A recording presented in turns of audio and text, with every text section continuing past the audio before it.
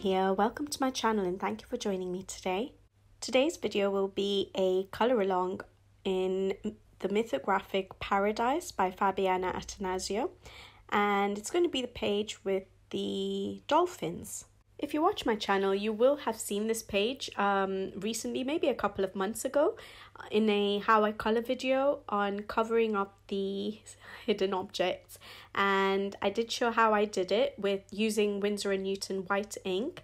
And I also showed or demonstrated um, the using pencils over the top of the white ink uh, very briefly. So you will notice that yes, the hidden objects are all covered up and that there is one little mountain in the background that's already been colored just to show how the pencils worked on that particular video.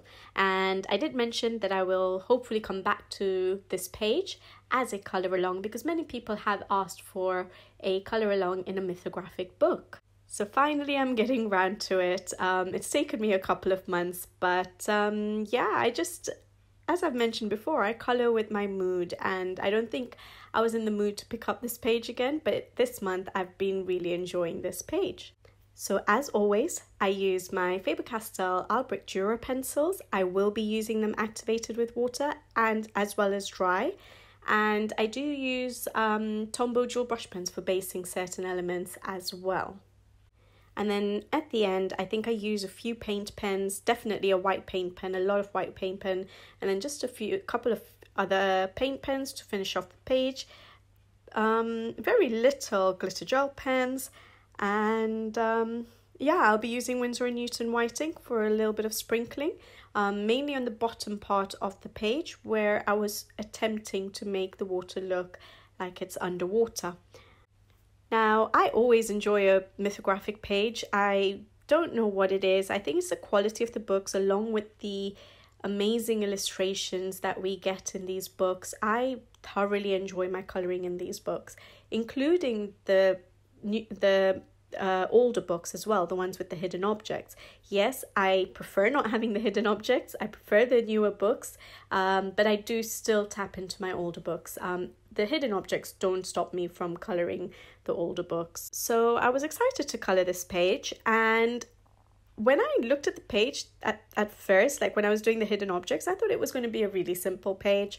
Um, however, when I came around to coloring it this partic- this month, I found that it was actually quite a challenge.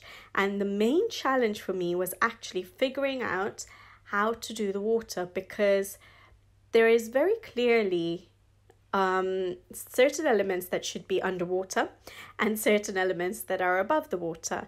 But it's not very clear with regards to the line art how to differentiate the two um, the two parts of the water. Now I know none of these mythographics um, you know are are realistic. You can do whatever you want, whatever colors you want. Um, so it doesn't have to be realistic coloring, but I needed to give it a little bit of perspective. I needed to figure out how to create um, the water, the bottom part of the water to look like it's underwater and the top part to look like it's above the water so that the dolphins actually look like they're jumping out of the water. Um, so yeah, it was quite a challenge and you will see that I spend a fair amount of time doing the water part of the page and I do start with the water if I'm not mistaken um, so I spent a fair amount of time doing the water part of the page and trying to darken up the bottom half of the water to sort of give that perspective that it's underwater, it's deep into the water. Um, and then I think, um, yeah, at the end of the once I had done all my pencil work, I definitely used paint pens to help me to emphasize the fact that it's underwater by using a white pen paint pen to sort of create little bubbles and then using my Winsor and white uh, Winsor and Newton white ink to do a sprinkling effect as well for the underwater part to sort of give that idea of bubbles underwater. And hopefully it has come across. I think i sort of can differentiate the two. It's not perfect but i i tried my best and i think it works. It somewhat works definitely. But you guys will be able to tell me better. So once you guys see the finished um, page, let me know what you think and if I have managed to pull that off because yeah, when I looked at the page at the beginning, before I started putting color to it, I was like, I have no idea what's going to happen. Let me just start putting color on into the water and then I'll try and work with it and try and keep going at it until I can sort of differentiate the uh, surface water and the underwater. Because the water was quite a large element on the page, I decided I did not want to do a blue sky, and so I decided to go for the pinks and the yellows, a little bit of purple, sort of to make it look um, like a sunset um, and sort of like tropical. I wanted to bring out that tropical feel, and I think it worked. I think I really like the pink that breaks everything up.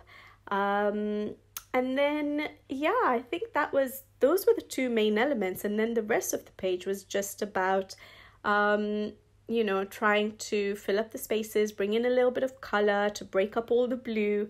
And um, yeah, I think at that point I used quite a bit of Tombow Gel brush pen, if I'm not mistaken, for basing the dolphins, the seaweed, the um, other fish underwater, I think. Um, and yeah, I think there's not much else to say about this page as I usually do, I did go a bit bright with this page, but um, I like the tropical feel of it. I like that it's bright. I think it is a page that should be bright. But um, I think next time I should try and be a little bit less conventional. I think midway through the page, I was thinking that the page looked a little bit a little bit boring um, because I went very conventional, just blue water, green trees, you know, um, there wasn't anything catchy about the page. So, um, yeah, I was like, I should have tried something different. I should have th- tried something a bit unconventional and just gone crazy with colors. But when I finished off the page, I finished off my pencil work, I went ahead and did all my paint pen work. I think I like how the page has turned out. Now, when I look at it, I'm happy that it has that tropical feel to it. And um, yeah, there's so many other mythographic pages I have to just go crazy with colors um, if I want. So yeah, I'm glad. I, I think I'm happy with how the page has turned out. I hope you guys liked the page as well. And for those of you who requested a video on a mythographic page, I hope you enjoy this uh, particular one. Um, I've kept it quite simple, I think, and it hopefully will be fun to color along with if you do decide to. And as I always say, Share it with me on email, on Instagram. I love to see your pages. It really does make my day when I see your versions of your pages. So, yes, definitely share it with me if you decide to color along, or even if you just use a certain elements of it on your page. Um, I would love to see your versions of, a, of the completed page. I think I'll leave you guys to watch the video now in peace because there's not much else to say about this particular page. So uh, hopefully I will be back with you guys again soon. I think it's been a while since I've done a color along. I am a little bit short of time and the color alongs do take a little bit longer.